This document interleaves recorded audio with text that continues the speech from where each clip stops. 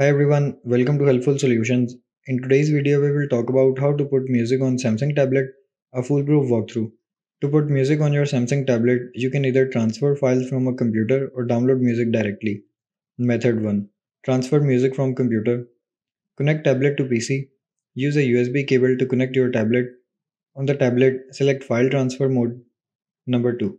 Transfer files. On your PC, open File Explorer Locate your tablet and find the music folder.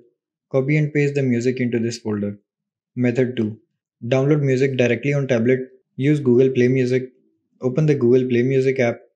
Browse and download. Search or browse for music, then purchase or stream it directly on your tablet.